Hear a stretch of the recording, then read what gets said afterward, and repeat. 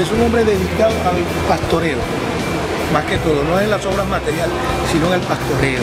Es un hombre dedicado al trabajo, a la humildad, a que todas las cosas funcionen.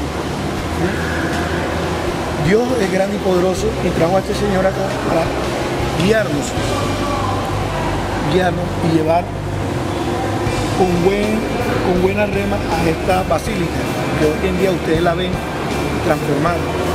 ¿eh? Ese hombre ha sido un pujante, trabajador, luchador. Y a raíz de eso, pues, muchos a veces lo critican por su trabajo, por su dedicación, pero un hombre que lo ha entregado todo. Quisiera tener como 50 brazos para estar y como 100 ojos para estar pendiente a todas las cosas. Es perfeccionista, quiere que uno aprenda, es muy dedicador al trabajo, al servicio. Las 24 horas tú le tocas la puerta y está ahí. Ese es el ulterior cuidado. Yo creo que hay dos etapas. Una etapa infantil, que fue en manera madura con el padre Ángel Pérez, que fue, mi padre. Y luego alimentado aquí en Maracaibo por el padre David Hernández, párroco de la Asunción, que fue nuestra parroquia eclesiástica desde que llegamos a Maracaibo. Este, esa fue una primera etapa. Esa primera etapa terminó con la primaria, con sexto grado. Después que hice la, la primera comunión con las hermanas agustinas en el colegio Coromoto, Los Aticos, y de la primera misa de nuestro Roberto Líquer León, que fue en mi parroquia en Asunción, este, hubo como un desencanto a pesar de la, de la presión de mi, mamá sobre todo y de la ayuda espiritual de Olegario Villalobos. Sin embargo, pues mamá decidió que, libremente escogiera yo lo que quería. Eh, y no fue sino hasta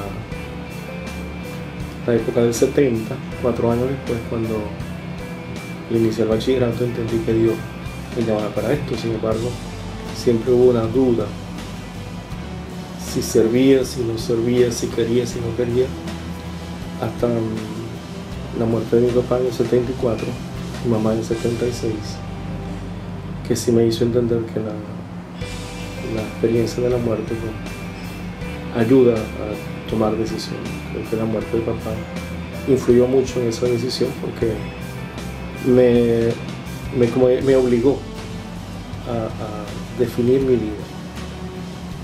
Eh, yo había cumplido ya 20 años y, bueno, había que dar una razón de a la existencia.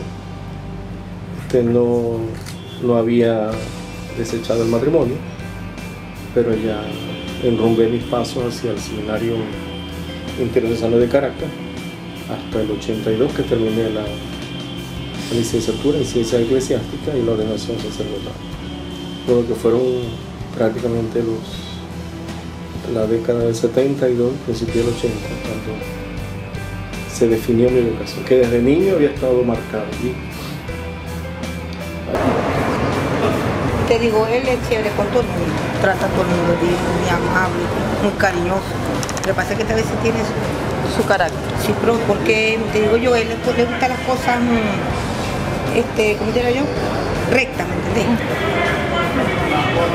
Padre Leuterio ha sido maestro y un pastor que durante los 10 años que llevo conociéndolo me ha guiado en esta parroquia hacia el conocimiento de Jesucristo.